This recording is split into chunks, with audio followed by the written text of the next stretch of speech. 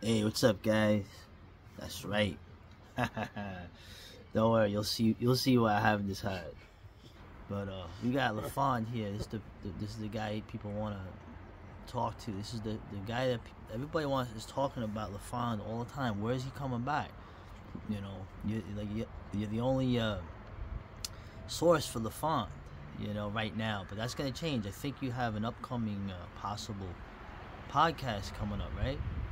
Um, the myth of the 20th century guys wanted to do something for about a year, but I had to talk too loud on Skype for them to get the sound quality, and I'm too stupid to use the platform that they normally record on.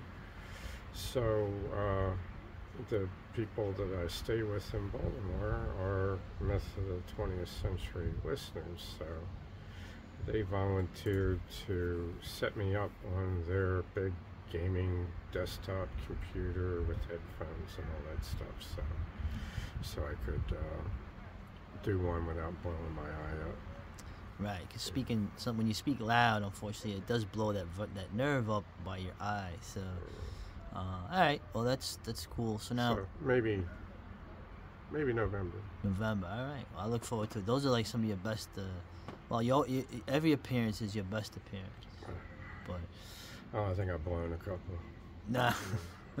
well, there was the one with who was that?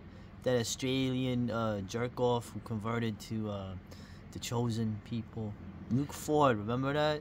oh yeah that's when I met Dennis Dale Right, you know, who's missing. Who I don't know what, what happened to him too, but yeah, that that Luke Ford. That's when someone called you a boomer faggot yes yeah well in the I, chat. that's cool that's cool um you know that was yeah. That well, was Yeah, well, whatever you want me to be. Um, I don't have enough energy to oppose the rollings. well. Also, you had the uh, the myth of the 20th century where the, the guy said that you are a bad word. You are that that you I are essentially a bad word, That was great. and he hopes the cop like you know pops you in the head. That was great. Yeah, that, Uh, I, I like that one a lot. That was great. So anyway, Arkham Reporter, uh, Damien, the visitor from the beyond, the cosmic being who's coming uh, in a week. That's right. Uh, he basically was wondering about in terms of you know he, he likes the videos with the, the financial stuff like how you make the money, Okay. right? How you're a baller, as they say. But in terms of he's curious about, and I'm curious too. We're all curious about expenses. What is what is like when you the money you make? What do you spend it on? How does it go? Like by the year? What's your biggest expenditures? You know, how do you stretch a dollar in Biden's America? Like, how do you do this? Uh, I, depends on where I'm at. Some places I spend zero dollars. Uh, if I'm with certain people, I don't spend anything. Um, it, the Pacific Northwest is expensive for me. I don't like having my lady paying for everything. She well, she likes to go out a lot. She's willing to pay for everything, but my ego gets in the way. So, yeah, yeah, you know, when I do go out, uh, I field some of the expenses and just uh, uh, and I don't I don't get any side money. I don't get any coaching money when I'm there. The uh, cost uh, the cost of a beer in the Bay Area is like eight dollars, so I don't even drink when I'm there. Um, the uh, on the train, I try to just get coffee, but if I get if I drink four coffees, you know, that's 11 dollars a day on the train. There's really nothing I can eat on the train. It's on Rick's list, but uh, I'll sometimes uh, get a beer and a shot Yeah. uh, to go to sleep at night, and that's almost 20 bucks for a beer and a shot on the train. Um, when I'm in Baltimore, it's five dollars for me to take the bus all day, but two thirds of Baltimore area buses have disabled money meters, so you could just take two dollars and gamble on how many of the money meters are going to uh, be disabled and maybe not spend anything. uh, so, so that's kind of variable. I don't. Uh, uh, I don't uh, spend much money on groceries or or beer uh, when I'm in the Baltimore area. Uh, if I go out with Big Ron or uh, Charles, they don't even let me pay if we go to a bar. I will buy, I, I like to buy stuff for my host's wife. She's a sweet lady. Uh, she was kind enough to uh, pretend I wasn't uh, moaning and groaning on her living room floor for six weeks when I was skittering around the living room floor last year. So I try to buy like little presents for the ladies uh, of the guys that I'm staying with.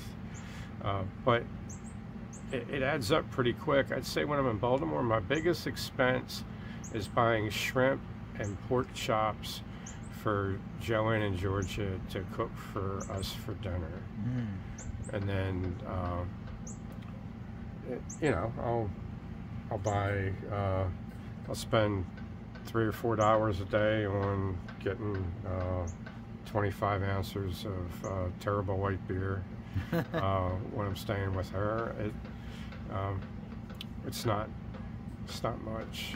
So uh, I publish my annual expenses uh, every December or January. If you look on the author's note tag on my website, you'll be able to find all my expenses uh, 2023. I think I published that around the first of the year. Wow.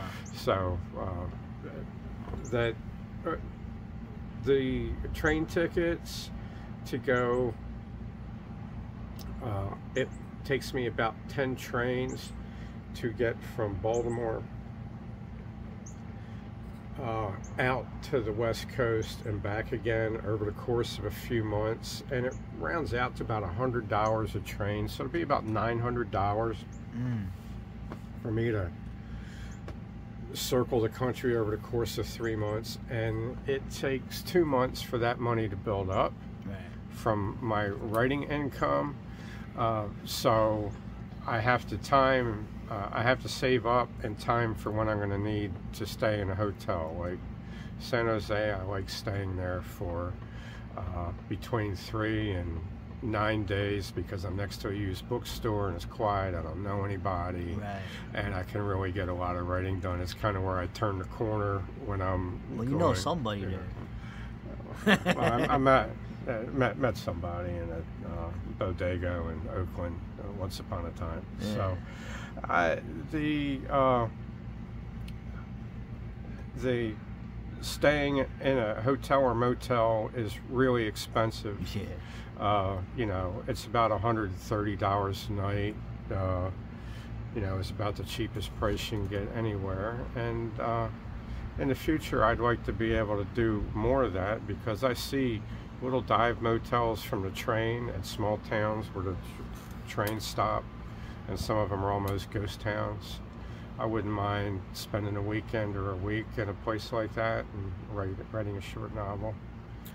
Uh, I, I don't like to write about. I don't like to write fiction set somewhere where I haven't been. Mm. Uh, and ideally, I like to write it when I'm there. Right. Okay. So in terms of uh, liquor, right? What's what's your uh, for you know, what's your go? What's like what's your liquor for like the the man trying to stretch a dollar? Oh, uh, okay. So Castillo rum. Uh, we were drinking that last night. Yeah. I've gotten that for as cheap as seven dollars. Nice. It's the smoothest rum that comes in glass. Uh, I usually, if I'm someplace where uh, where beer is sold in supermarkets in cases, I get Busch Light. Yeah, Busch Light's yeah, pretty uh, standard. Uh, yeah, if I'm in a dive bar, they'll usually have Coors Light on tap. a nicer bar will have Miller Lite on tap, and uh, a, a, really good dive bar will have 16 ounce can of Busch Light yeah. for like a dollar cheaper than yeah. what the on tap stuff is. Uh, so uh, that's all. That's all I drank. I had saved a receipt from a dive bar and uh, handwritten by this really pretty old Chinese chick who uh, handwrites all the receipts for her patrons. And uh, I was going to show it to you, and then I washed my wallets in my pants. What did you do? You you, I- I you left my- washed. Yeah, yeah. I, I left the wallets in my pants, and they Oh, fortunately my, uh, uh, you know, my most of my stuff that was in there survived, but that the ink on that didn't survive, so I don't have it to show to you. Mm. Okay, so um, that I try. Uh, I generally lose a pound a day when I'm staying with the Brick Mouse and Bride.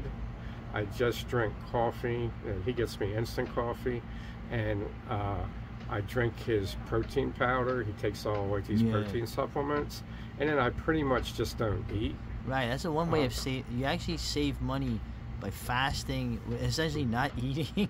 So I'll stay at his eat- place for three days, Yeah. and I'll lose four pounds, and then I'll go over to Joanne's for three days, and I'll And gain, gain, four pounds. right, exactly. Because she she makes me eat twice a day, and she's real good cook. you know. So like you know, so eating salt and having like a day of fasting, it it does help the wallet. Yeah, yeah. Tighten the belt, literally. So all right, oh, whatever. Just talking about the, the finances. I'm trying to think of anything else in terms of like books, right? Or getting like you like. To, what is your that bookstore? Obviously in San Jose is is it been a treasure trove for you? When you're out here, like you uh, Barnes and Noble, despite its reputation, you find usually something interesting there. Yeah, yeah. Barnes and Noble is an interesting study. We maybe do a separate video on that. But I get uh, most of my books I use in the East were mailed to me by readers. They want me to Mm. read them and do reviews on them. Right, right. Uh, Rick buys me books. Uh, Every time I show up at his place, he's got books on the guest bed waiting for me.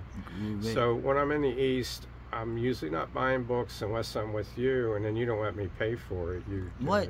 you buy it at uh, you're like a Chinese dude. no, know. you you you buy your own you stuff. You don't let the guests buy. Nobody's buy cheaper than you than me. Um, so, so I've uh, uh, still I'm doing more hard copy print books as far as reading now since I got my glasses fixed. But I still mostly use uh, mostly work off of ODT documents of primary sources that my editor uh, sent me. But the book that you bought me two weeks ago, The Scythian Empire, is a really good book. It's one of those rare cases where an obscure academic historian writing on an obscure subject has access to a lot of stuff that I don't have access to. He knows the latest archaeological digs hmm. and latest translations, and that can be very important for Alright. some of my studies. Plus, he'll have other sources, primary sources, footnoted.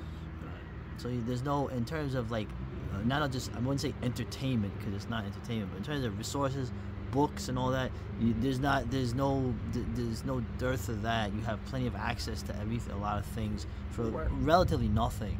When I'm in Portland, uh, uh, my lady likes to shop at the thrift stores, and there's always a book section. And, uh, you know, so I'll check out the history, and I've gotten some really good histories out of those. There's, it's usually mostly crap, uh, but you'll find something. Uh, Yeah. There it is decent. I got one on the First Horseman that was a very good book. Wow. And of course, I really like the the used bookstore in San Jose. Has got uh, it's got stacks 14 feet high, and I think it's 36 feet deep. That room, Wow. Uh, and, and they've got stuff piled on the floor, and it's all edged out. Uh, it, it's a massive historical I tell you, man. resource. That's one of the things that there's still some left. Uh, There were so many more decades ago. Uh, used bookstores are like a literal treasure trove, man. I gotta, I gotta say, they're getting all serious now. All right, man, that's cool. So that's it. All right.